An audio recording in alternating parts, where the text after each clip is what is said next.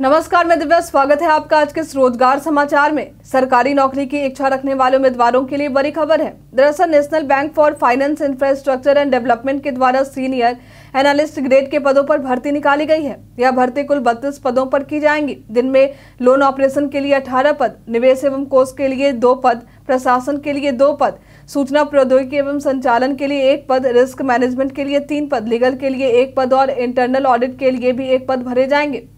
आवेदन करने की अंतिम तारीख 15 दिसंबर 2023 है। इच्छुक उम्मीदवार इसके आधिकारिक वेबसाइट एन पर जाकर आवेदन कर सकते हैं। आवेदन आदि से संबंधित जानकारी आप इसके आधिकारिक वेबसाइट पर भी जाकर देख सकते हैं। चलिए अब जानते हैं इस पद के लिए योग्यता के बारे में।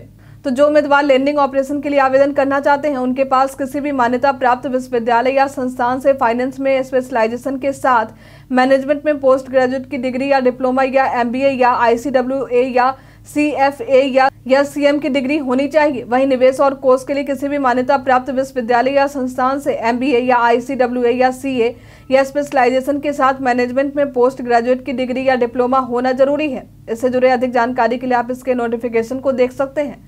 इसका लिंक हमने अपने डिस्क्रिप्शन बॉक्स में दे रखा है। आइए अब आगे इसके आयु सीमा के बारे में जानते हैं। इन पदों पर भर्ती के लिए उम्मीदवार की न्यूनतम आयु इक्कीस वर्ष और अधिकतम आयु चालीस वर्ष होनी चाहिए। उम्मीदवार का जन्म 2 अक्टूबर वर्ष उन्नीस सौ तिरासी से पहले ना हुआ हो। साथ ही न्यूनतम आयु में उम्मीदवार का जन्म एक अक्टूबर वर्ष दो हज़ार दो के बाद ना हुआ हो।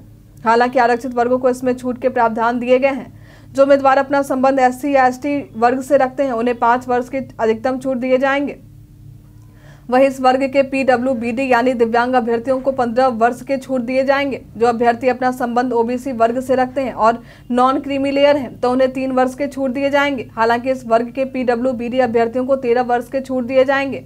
जो पीडब्ल्यू बीडी अभ्यर्थी जनरल है या ईडब्ल्यू से आते हैं, उन्हें आयु सीमा में दस वर्षों के छूट दिए जाएँगे। उम्मीदवारों का चयन इंटरव्यू के माध्यम से किया जाएगा। यह इंटरव्यू मुंबई में कंडक्ट करवाए जाएँगे। चलिए अब आखिरी में बात करते हैं इसके आवेदन प्रक्रिया के बारे में।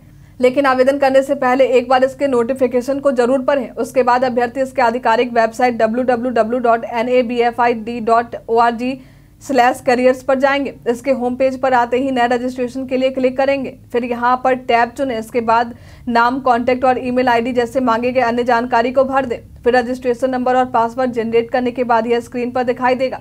उसके बाद भरे गए आवेदन फॉर्म को जमा कर दे। मांगे गए सभी ज़रूरी दस्तावेजों को भी अपलोड कर दे। प्रक्रिया पूरी होने के बाद इसके प्रिंटआउट को अपने पास रख लें। आवेदन और नोटिफिकेशन लिंक दोनों ही हमने अपने डिस्क्रिप्शन बॉक्स में दे रखे हैं। आप यहाँ से भी डायरेक्ट जा सकते हैं। आज के लिए फ़िलहाल इतना ही। हमारे साथ बने रहने के लिए आपका धन्यवाद।